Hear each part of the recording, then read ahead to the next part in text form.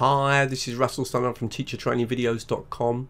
Today we're going to look at producing professional quality, high quality educational videos.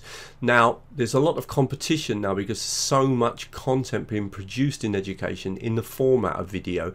And I want to show you the technology that I use to create my videos, but also I actually make a lot of video content for other organizations, particularly around screen capture. So we're going to focus on the technology that I use, which is uh, Camtasia. I'm going to give you a real taster of just some of the things that Camtasia can do. So if you're thinking of buying it, you're going to find this video really interesting. Or if you're looking at ideas for making your videos a little bit more professional, then you really might like this video.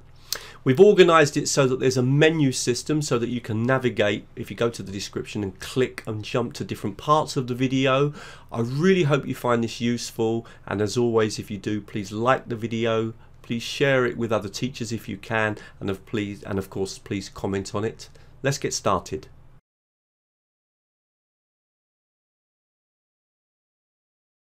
So this is the recorder and notice it's like a box and I can decide how big or small I want it to be. In fact I can choose from a whole range here of different sizes.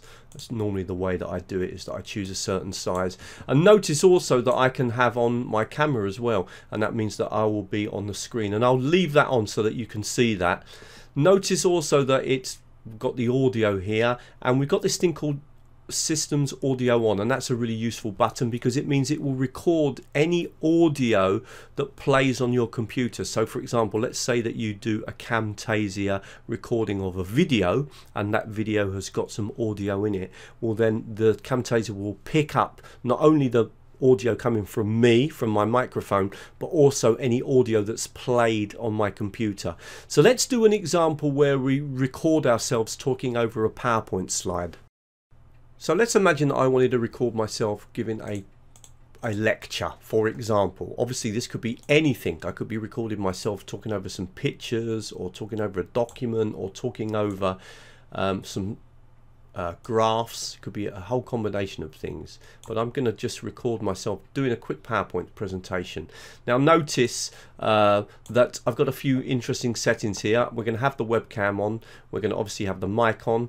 This one's really useful. When you have systems audio, it means that it records not only what you're saying through the microphone, but also any sounds that are played from the computer. So if you were recording yourself, for example, recording a video, then it would also pick up any sounds that were being played in that video. So that's really quite important. Once we got it lined up, notice I'm not going full screen and you'll see why in a minute. There's really no need to. It's much easier this way because I can control the slides that I'm working on as well. So I can kind of jump around through the slides. But when I click on the record button, then instantly it will start to record everything I say, everything I do, as well as me on the screen. And if I jump to another page by just clicking like that then of course it will just record that as well. So I can jump through the presentation really easily. So let's just demo a couple of slides doing that. So I'm going to click on this button here. The recording is going to start. Don't take any notice of that. That's just happening because I'm doing a Camtasia of a Camtasia. The recording starts. Remember I'm recording in this area here. So good morning ladies and gentlemen and uh, nice to have you uh, in my lecture. What we're going to do today is we're going to focus on working with uh, digital technologies, but particularly with websites and blogs, and look how they can be used in the ELT classroom. Fundamentally, I'm going to ask three key questions, and those are: why might it be a good idea to get students to do blogs? Okay? What would the, are the benefits of that? What types of things can students do? What can they actually create? And how about teachers? How can teachers use blogs? Now I can pause at any time if I want and, and then click onto the next slide that way okay? And then just carry on.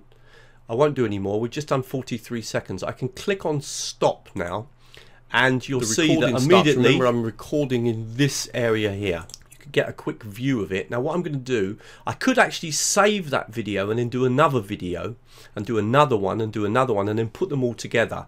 Okay, but what I'm just going to do for this one is just show you immediately how we could then start to edit and augment the quality of this video with various things that we can do in Camtasia. So to do all that, all I need to do is click on save and edit.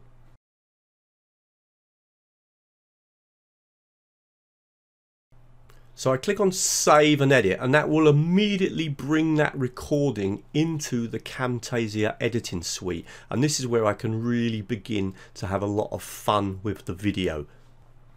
So there it is, you can see on the screen now. Now one of the things that I can immediately do is I can decide how big I want this video to be. The standard size at the moment that we're kind of using for things like YouTube etc is this size here and what you can do is just then right click and click on scale to fit and it will kind of make the video bigger. Now let's show you a couple of lovely features immediately. What I've done here is I've recorded myself on the screen and I can make this a little bit bigger okay just to show you. But I've got a green screen behind me which has been very equally lit up okay? So what I can do now is come over to visual effects and I'm going to remove a color. And the color that I'm going to remove is that kind of green kind of greeny blue color in the background. Now I'm actually colorblind but it doesn't matter. I'm going to click here and just click and then click and see it removes that color. And if it does it really well then suddenly I'm now on the screen and if we play this video you'll see what I mean. The recording starts. Remember I'm recording in this area here. So good morning ladies and gentlemen. Okay you can see now that I've kind of cut my background out and that's a really nice feature that we've got in Camtasia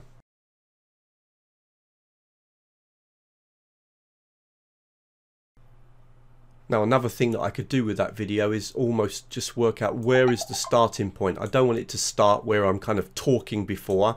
I'm going to find the right place.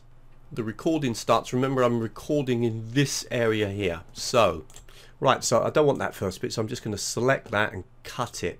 And I can delete that part of the video out. So now the video starts straight away. But what I'm also going to do is I'm going to add in a little introduction.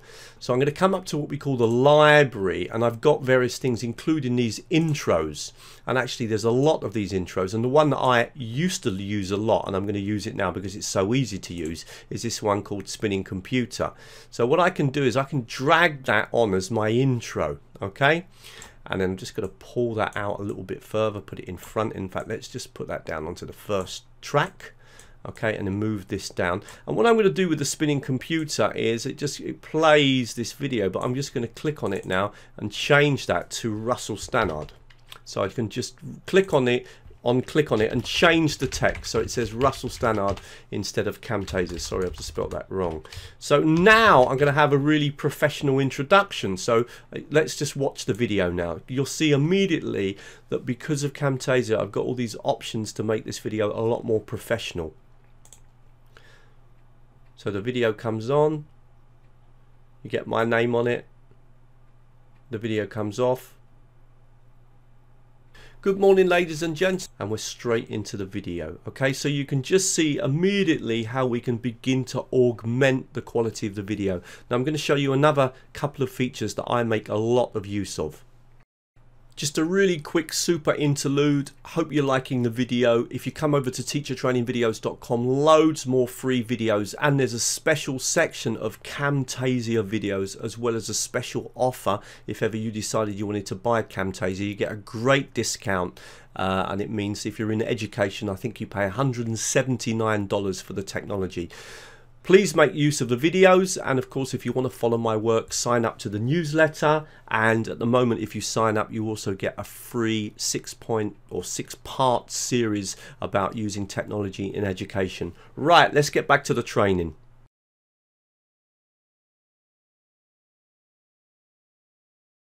Now I could even add some music for example at the beginning of that so again coming up to this library this library is really handy I've got things called tracks and I can click here and I've got loads of free tracks that I can use. Let's just have a quick listen to a couple of them. Not that keen on that one, let's just try another one. Yeah, I like that. So I'm going to use that then. So I'm going to drag that onto the screen. I'm going to have that as my introduction. Now I don't want it to be playing all the time. I just want it to be playing up until where I start talking. So I'm going to come here and I'm going to cut that video at that point and delete that part. I don't need that. Now another lovely feature that we've got here in Camtasia is we've got audio effects that we can fade the sound out at the end. So I'm just going to drop that on I can even pull that along a little bit and decide where I want it to start. So let's just quickly look at how this suddenly augments again the quality of the video.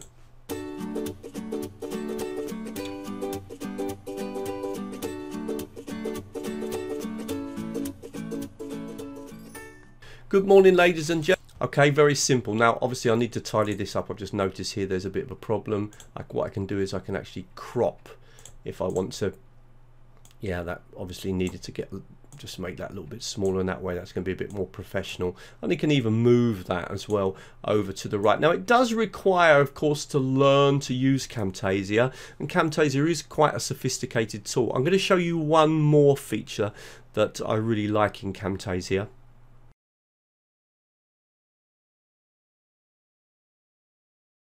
So let's move along to another, sorry, let me just move the playhead along and I want to get to here. Now, once, sometimes when the speakers, obviously I'm talking, I might want to highlight something on the screen we've got a couple of lovely tools and there are a few that you see me using all the time. This one I particularly like, okay, which allows me to kind of focus and just and it draws its sketch mode it's called sketch motion just let me play a little bit of that and just to show you what happens look at this idea to get students to do blogs okay? What would the, are the benefits of that? What types of things can students do? What can they absolutely brilliant. I love that feature okay? And we have loads of these different tools so we can even drag a call out onto the screen if we want to say something okay? And again we can you know point and that. And I even get the option of changing the color of that call out if I wanted to do a different color. In fact one of the things that I do which is a lovely little trick and I'm just going to show you is that I click on it and sometimes I'll get it to match something for example what I'm wearing okay? And you'll often see that in my videos I do that just to kind of make everything blend and look together now, there are no, loads of other features. We can add real video in, we can add pictures in, we can add a lovely ending. We've got all sorts of things like transitions. We can obviously combine more and more videos onto the screen. Let me show you an example of a completely produced video.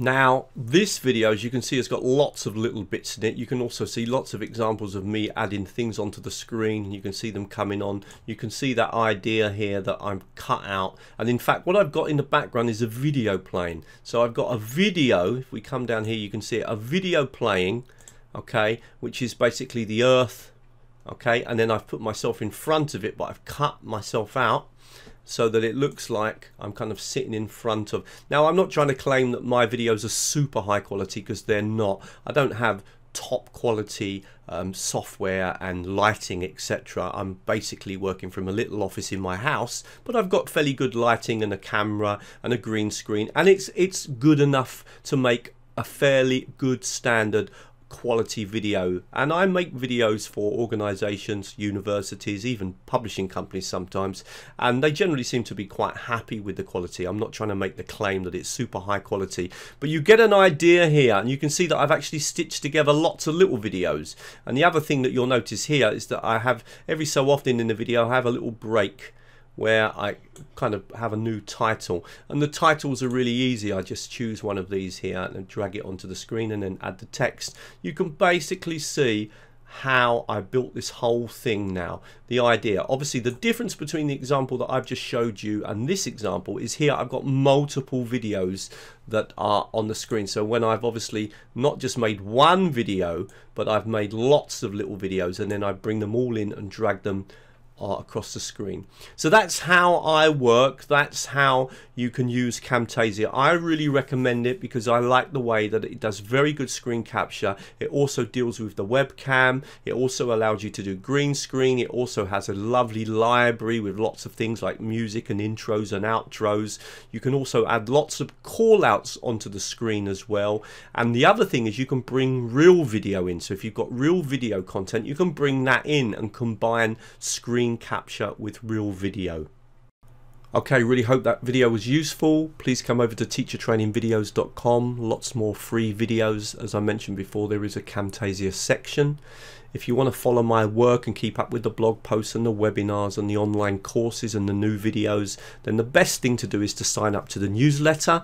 You'll also get a six part video series on using technology in teaching and learning. And of course, you can sign up subscribe to my YouTube channel. Don't forget to click on the bell so that you get the notifications. And finally, if you want to contact me for me to do some training with your organization, perhaps in Camtasia or Moodle or Zoom, then you can contact me from the website.